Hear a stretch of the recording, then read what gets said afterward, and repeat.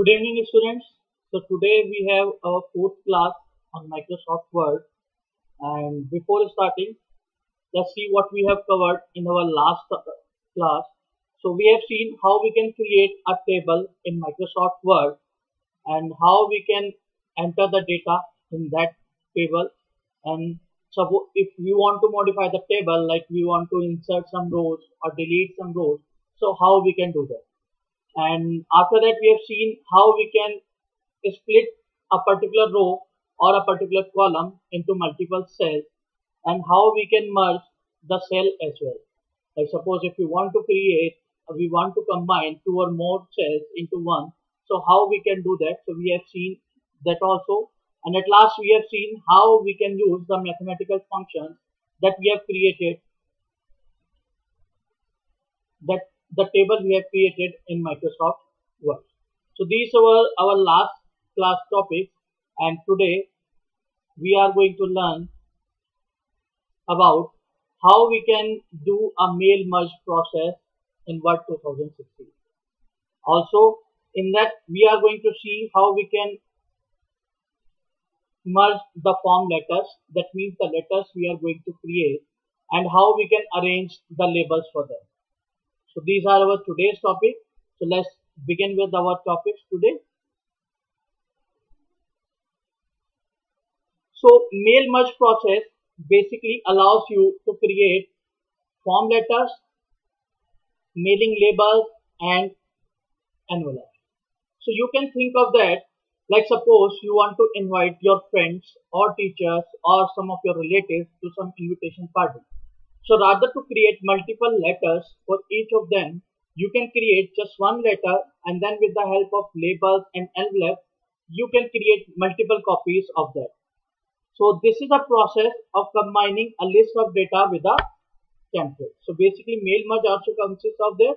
We are combining a multiple list that is the letter we have created and then we are combining into a list of data with the help of template. Now, this process involves basically two things. The first one is your main document. So basically this main document will consist of the text and the graphic that is your invitation letter content. Same for each version of the merge document. So like I told you earlier, if you are creating this one for multiple users, so you can simply create just one letter and that particular version will be used for all the users.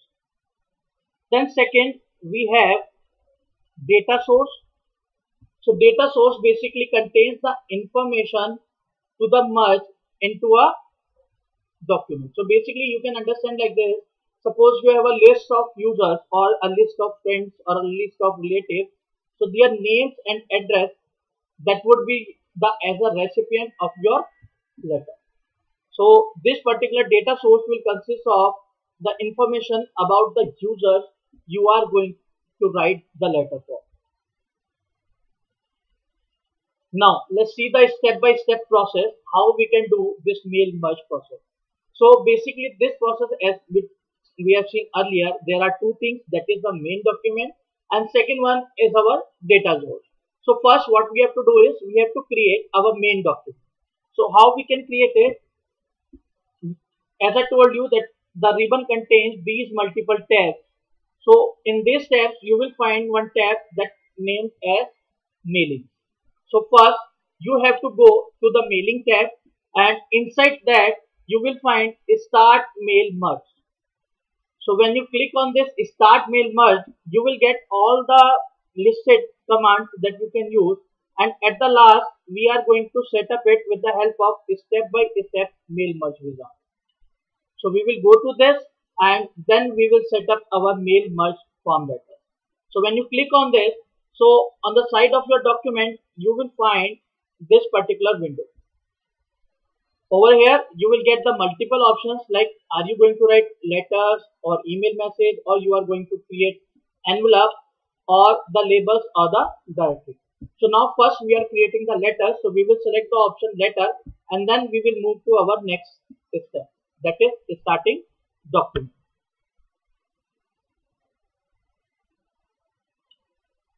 So in the second one, select starting document. So here you will get these three options.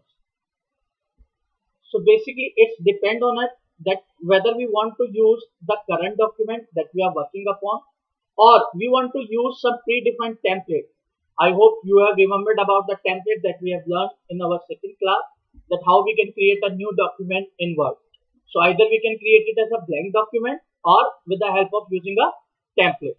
So either you can use that template or if you have already created any document, so you can use that also.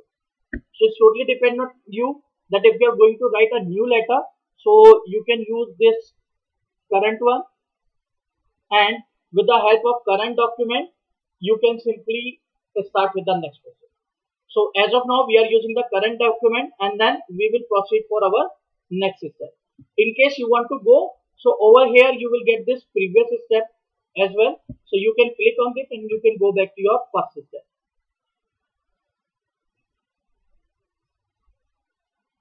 Now in the third step, we have to select the recipient for whom we are going to write this letter. Now in this, we will get two options. One is using an existing list. That means you have already created one list for the recipient and you can select those recipients from there. So this is the first list. So the list will look like over here. So in which you can see that there is first thing that is data source. That means your user users that will be saved as a separate different file. So those data source that is your file will contain their last name, first name, city, state, zip, etc. So this information will be saved as a list form. So either you can use this one or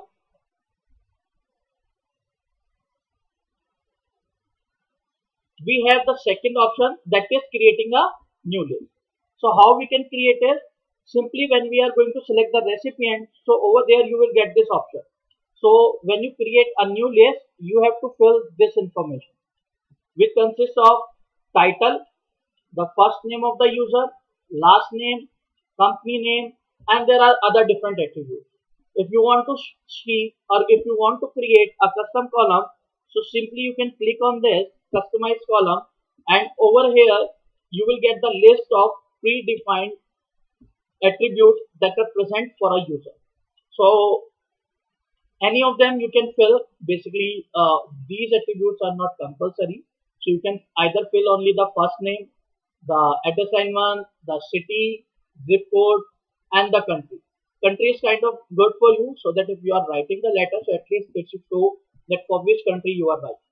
And then you can just click on this OK and it will be created. A new list would be created with the information that you have filled over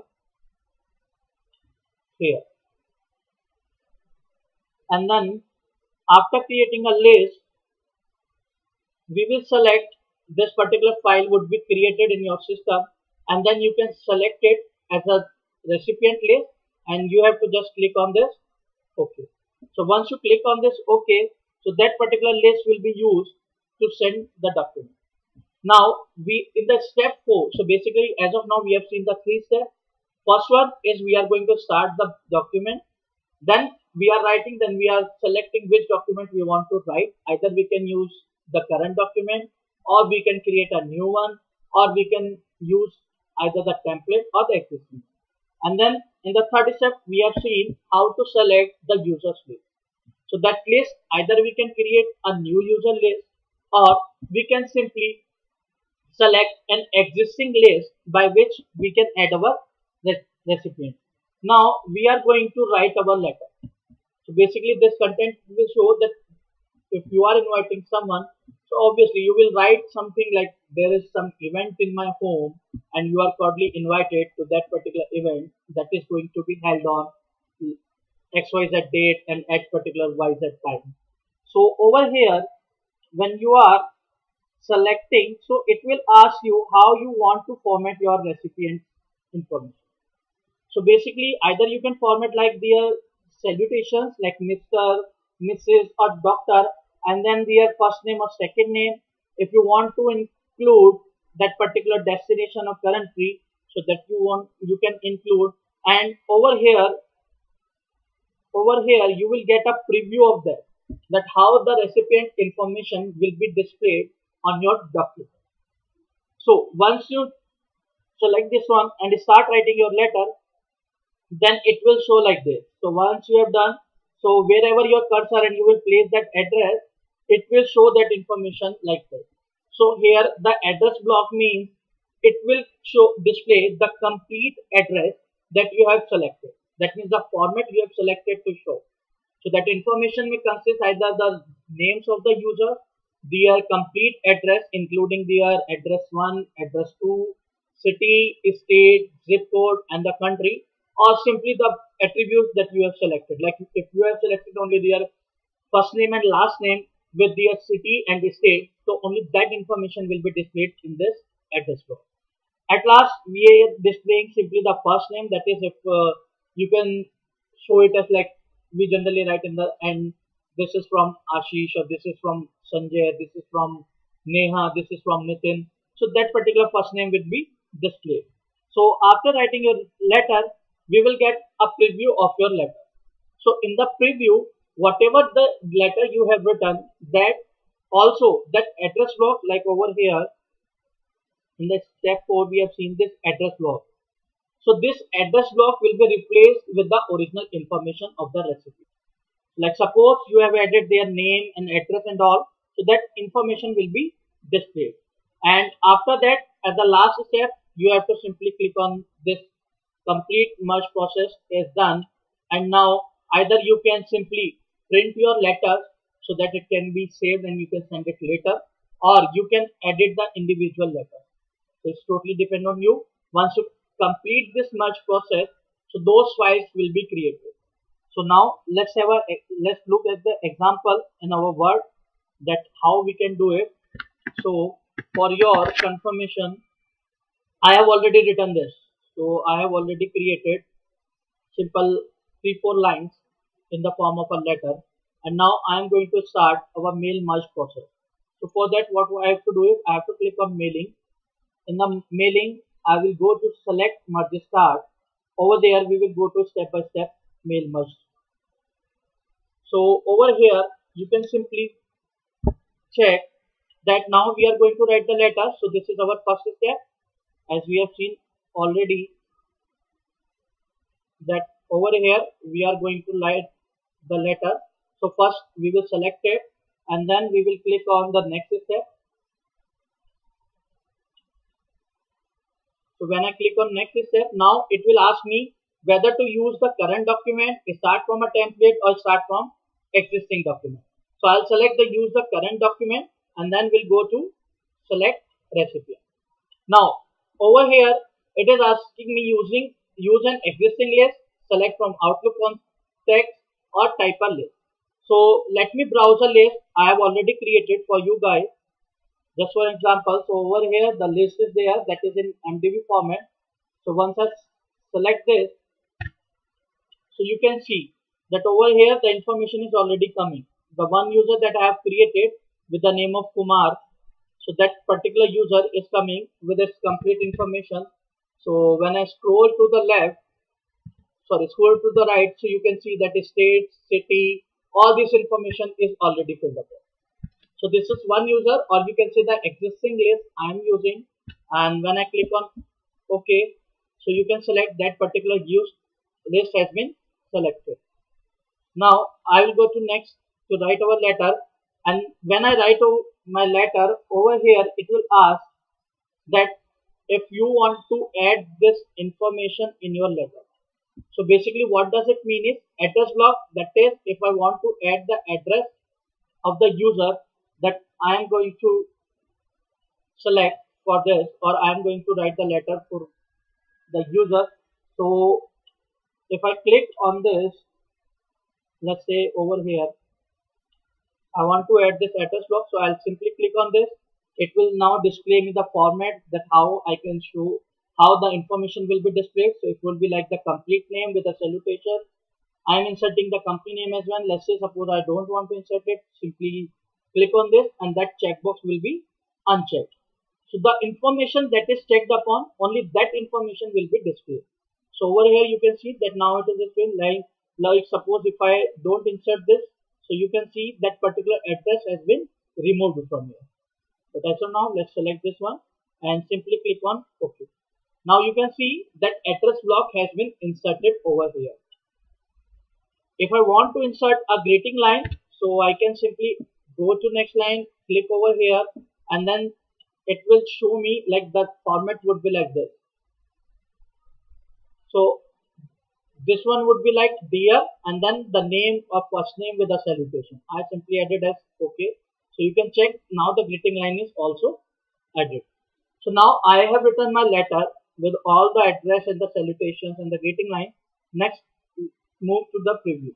So as I told you earlier, once you click on the preview thing, so that address block will be replaced by the actual information and that greeting line is actually replaced by the actual information.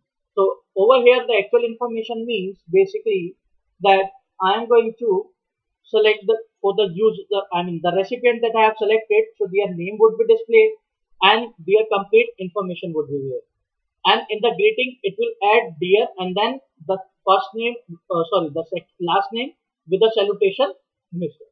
So once I click on next, so the merge would be completed.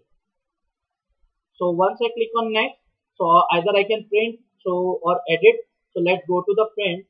I go to OK. Once I did it, so let's make it as a printer. Let's save it with document one. So now you can see that this particular letter has been written and all this information that we have selected is presented over here. So now you can simply check that we have first that whatever the letter we have written it is displaying in the same format. It is showing me the information that is address block, it is a greeting line and it is our actual letter that we have created. So this is how sim simply you can create your mail merge process with the help of Word. So now you can write multiple invitation letters to your friends, families, and can simply either you can send it, that is, you can email them, or you can take a print and then you can post them. Now, once your letter created, so we have seen how we can do it with the help of existing list. Now let's into that let's check if we want to create with the help of a new list so what we will do is we will go to type a new list. Then we will create on create. And over here we will enter the information like I want to give a title Mr.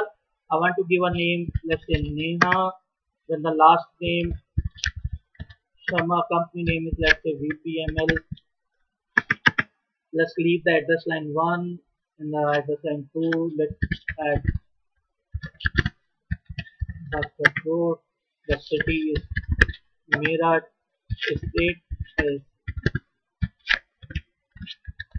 Uttar Pradesh, zip code 25002, country is India. And okay, let's leave the uh, phone and email address and just click on OK. Now it will ask me the the list that I have created. I have to save with something. Let's say I give it as list one and simply save it. So now it is asking me to select these recipient. I will simply click on OK and then the data is already written. Then we will see a preview. So it will show me a preview. So now you can see that the new list that I have created with all the information. Okay, sorry. Just a second. Yeah. So now you can see that a new user that we have created so the information of that user is present here with all those celebrations. Now simply you have to click on next, complete the merge and the same like the earlier letters were saved, it those letters will be saved in a print form. Because as of now I am printing into a PDF. So when I click on this, it will print into this one and uh, let's save it with uh, some other name. Simply save. So now you can check that the information for that particular user for which we have created the letter is now displayed. So this is how you can create your mail, mean you can do your mail merge process either creating a new list or you can use simply an existing list. I hope this one is clear to you. Now let's move to our new next topic. So this complete mail merge process we have seen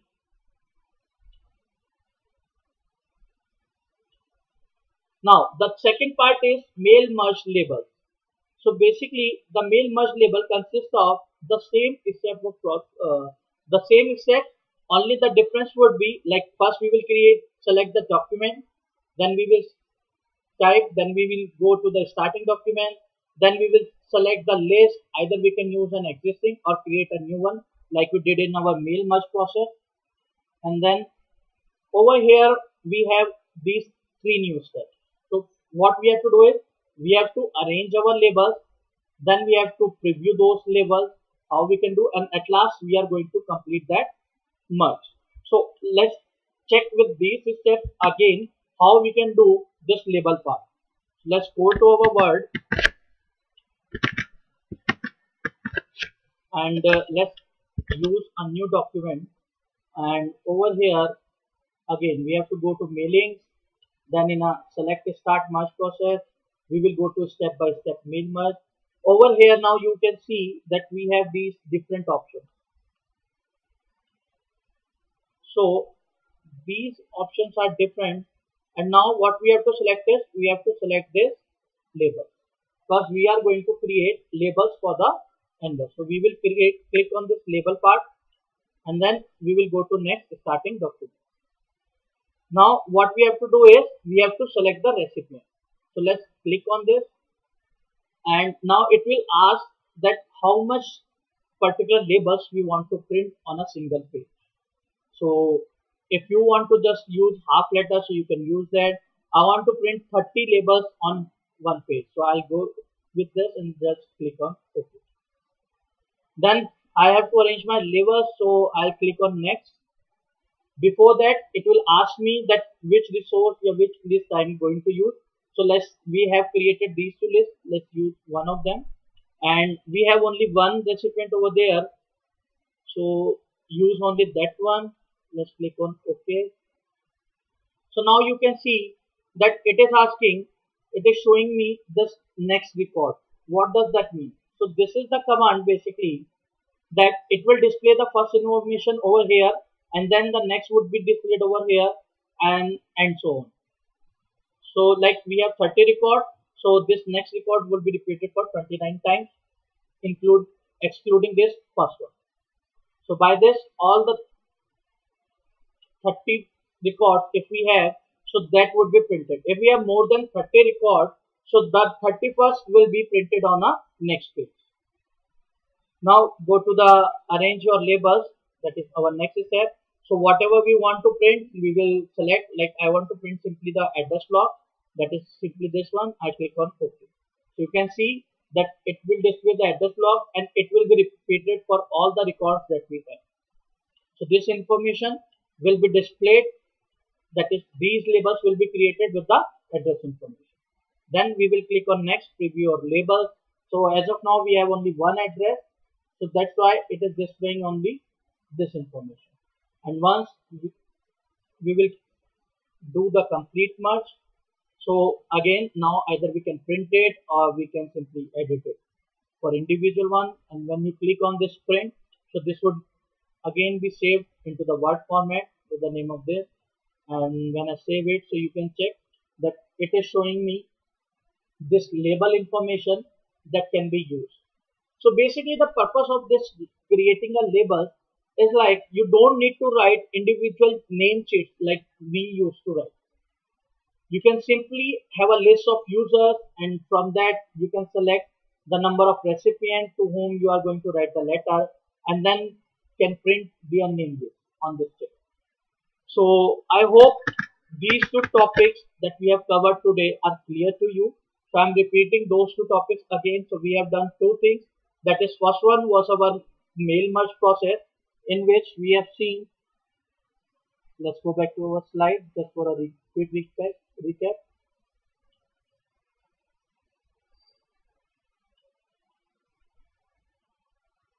So these were our three topics that we have covered today. That is mail merge process, that how we can start the mail merge process, what are the different steps. So basically there are two things. First you need a main document that is your letter and the second the data source. So the main document will consist your letter that you are going to write and the data source will consist of the list of users to whom you are going to write this letter. Then to start this process, we have two things. First is form letters and second one are labels. The form letters basically consist the information of the letter that you are going to write. How want to ad you uh, address your recipients, so they are addressing. If you want to add the greetings, so that you can do you can either create a new list or you can select the existing one. Similarly for the letters, you have three options. Either you can use your current document or you can use any template or you can simply use some existing document. So by which you can create your letters and at the end we have seen how we can create the labels and how we can arrange them. So labels are generally the information that you put on, on your letters whenever you are going to send them. So it has to, uh, for the identification of a user or your like some post office you are sending so it can easily identify to whom this letter intended. So rather to open your letter it can be simply be checked with the help of the address we have mentioned on the top. So that's all for today. I hope you have enjoyed this session. Please keep into your learn forward app for all the updates. And if you have any query you can post over there as well we are going to answer all your queries related to all the topics that we have covered. See you soon. We'll meet you in our